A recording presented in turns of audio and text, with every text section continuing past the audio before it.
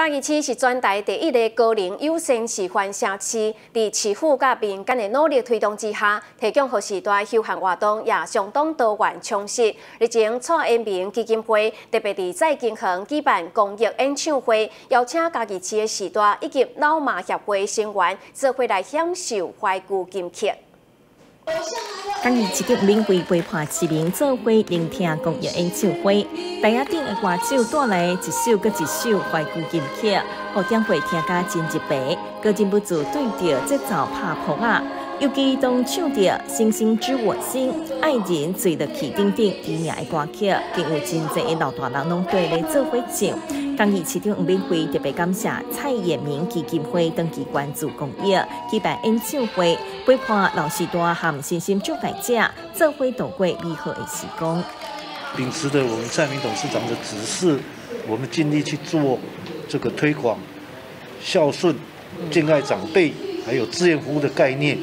这这这些年来，感谢黄市长给我们非常多的支持与资源。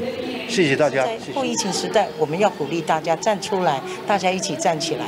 所以谢谢蔡永明爱心基金会，他们来到嘉义市再根源，而且也谢谢我们呃郑秀玉郑理事长他们的承办，然后跟结合我们脑麻协会，大家共同去推动。我们看到呃在现场所有的观众，尤其我们许多爷爷奶奶他们呃那高兴的脸庞，还有我们弱势团体哈，我们身心障碍的朋友们，他们都受到照顾，那一种欢心，连敏慧都觉得很感动。那种幸福的感觉不啊不禁油然而生。我再一次的谢谢，因为有大家的爱，嘉义市就是更不一样。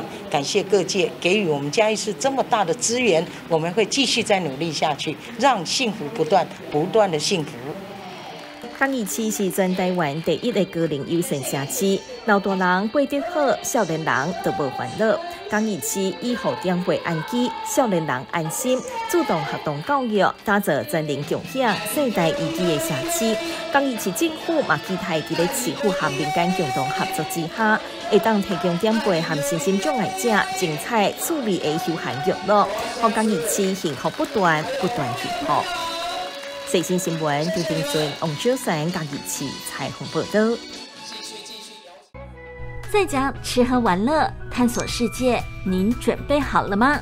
旺 TV YouTube 频道带您网络漫游，深入嘉义最在地的美食，最及时的新闻，最感动人心的故事，只要滑动手指，全部完整呈现。现在订阅。还有机会参加我们的抽奖小活动哦！